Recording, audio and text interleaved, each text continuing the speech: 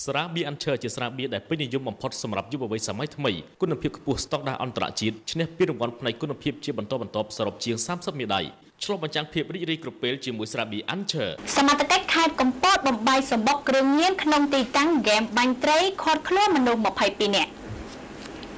យុវជនប្រុសស្រីសរុបចំនួន22នាក់ត្រូវបានកម្លាំងនគរបាលខាត់ខ្លួនគេដែលពួកគេកំពុងសងំលេងហ្គេមបាញ់ត្រីនិងសេពគ្រឿងញៀននៅទីតាំងមួយកន្លែងស្ថិតក្នុងភូមិទ្វីខាងត្បូងសង្កាត់អណ្ដូងខ្មែរក្រុងកំពតកាលពីកណ្ដាលអាធ្រាត្រថ្ងៃទី21មីនាលោកឧត្តមសេនីយ៍ត្រីអិនជីវ៉ាស្នងការរងនគរបាលប្រឆាំងបទល្មើសគ្រឿងញៀនបានមានប្រសាសន៍ថា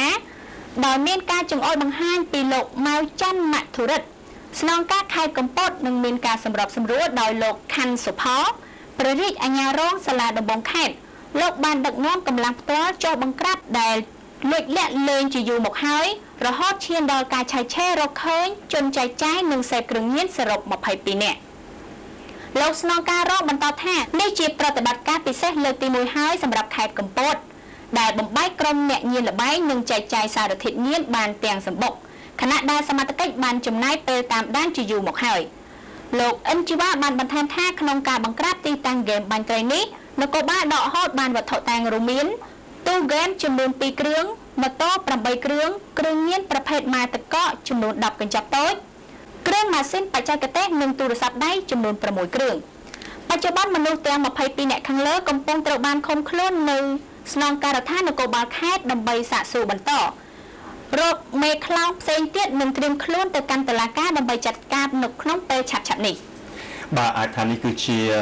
សមិទ្ធផលថ្មីចា៎ថ្មីស្រឡាងសម្រាប់អាដាមអភិបាលខេត្ត គឺអាដាមច័ន្ទចេស្ដាដែលទើបតែបានឡើងកាន់តំណែងចាហើយក៏ជាលើកទី1លើកអឺបាទជាលើកទី1ហើយជា